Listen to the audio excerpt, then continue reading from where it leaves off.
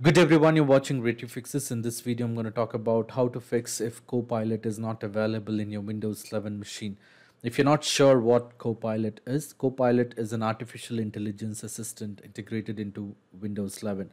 This new feature collaborates with Bing Chat and ChatGPT plugins, which makes your workflow seamless and eliminate the need of constantly switching between the apps. Now, there are instances, in spite of uh, installing the latest update. Uh, the copilot may not be visible in your windows. Now there are a couple of steps which you can try to get this issue resolved.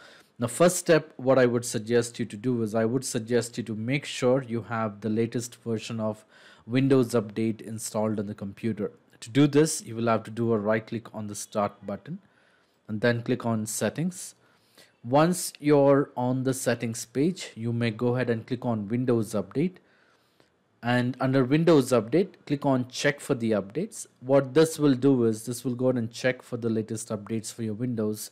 And if there are any updates to be installed for your Windows it will go ahead and prompt install those updates restart the computer and check if the copilot icon appears at the bottom right corner of your Windows taskbar. If it appears well and good. You don't have to worry about the next step the next step what i would suggest you is make sure you're uh, logged into your or connect your windows machine or user account is connected to your microsoft account.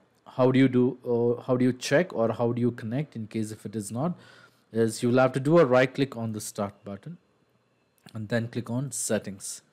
Once you're on the settings page on the left hand side you may go and click on accounts. Under accounts if your Microsoft Windows is connected to Microsoft account, you would see that under accounts, you would see your Microsoft account displaying here.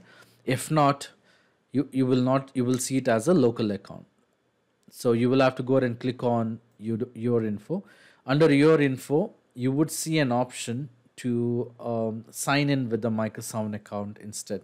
In case if you see an option to sign in with the Microsoft account instead, so you may go ahead and click on it and sign into your Microsoft account. In case if you don't have a Microsoft account, create one. You would be given a prompt to create a Microsoft account. Follow the step-by-step -step instruction.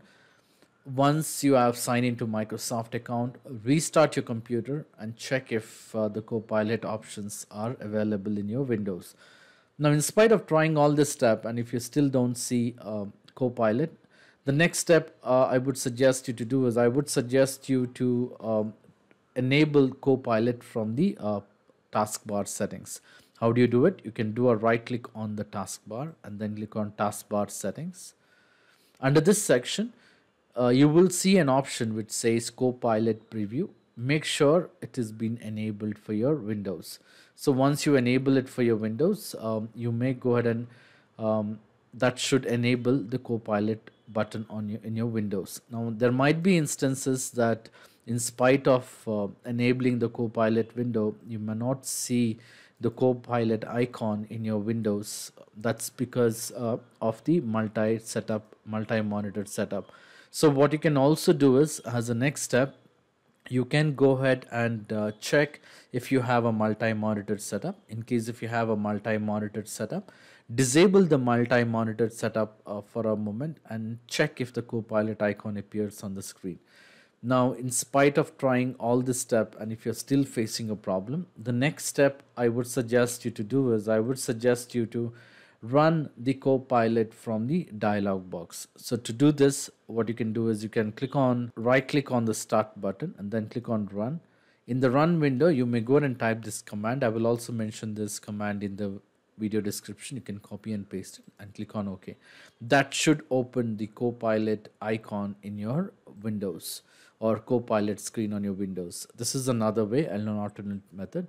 Now um, that's one way of doing it. Now in spite of trying all this step and if you're still facing a problem um, i would suggest you to leave me a comment in the comment section so that i can come up with a possible solution. I hope this video was useful. In case if you like this video please make sure to hit the like button and do not forget to subscribe to my channel. Thank you. Have a great day.